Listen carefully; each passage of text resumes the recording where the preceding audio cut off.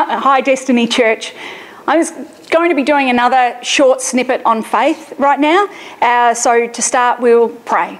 Father, we love you and we thank you that you are here with us, that in all our different places, in all our homes, that you are here with us right now and that you are looking after us. And we thank you that as we get to know you more, as we grow in you more, you just fill us with faith. You build upon the faith that we already have and you make us faith warriors. And we just thank you for the grace that you give to do give to us to do that. Pray your blessing upon this word now in Jesus' name. Amen. Amen.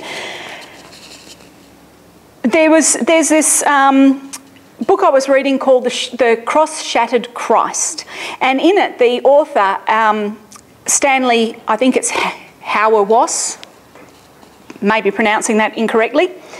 He says this and I've lost it. Ah, here we go.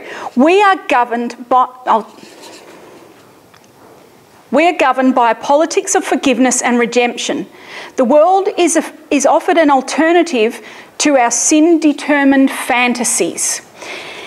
And in the context of what he's talking about here, is that through Jesus, through his life, his death, his resurrection, we have a way of dealing with the world that's not determined by our sinful natures.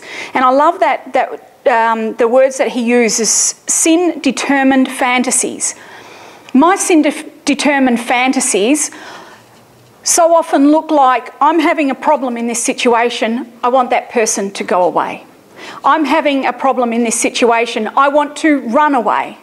I want these circumstances to magically change.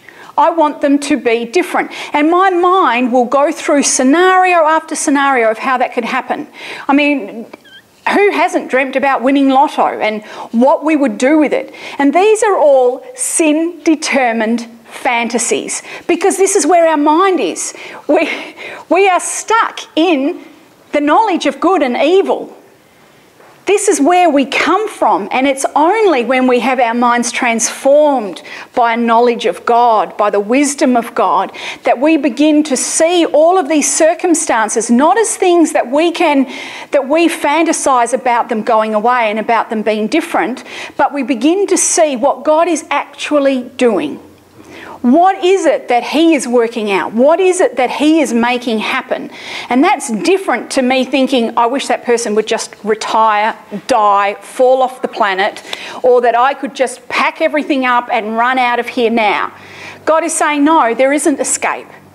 What there is, is a focus on him and seeing the way forward, seeing how to how to work with that person, how to relate to that person, how to um, overcome in the circumstances of pain or of uh, disappointment or of whatever it is. How do we overcome those things?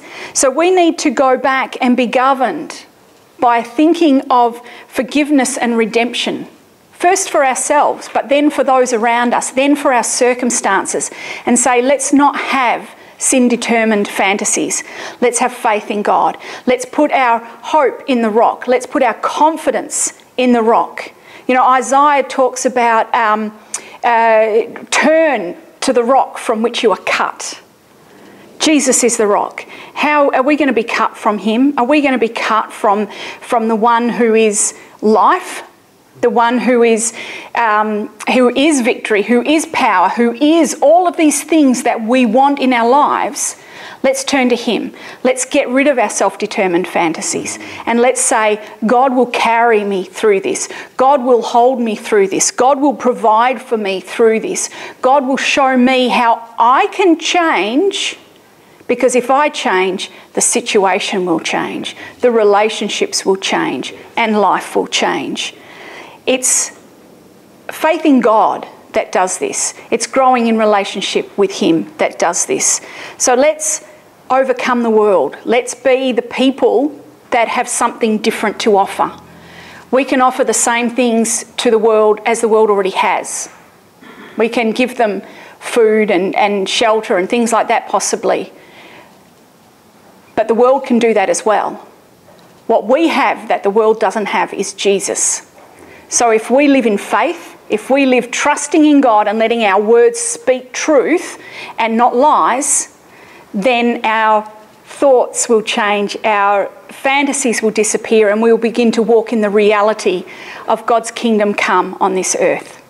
Amen.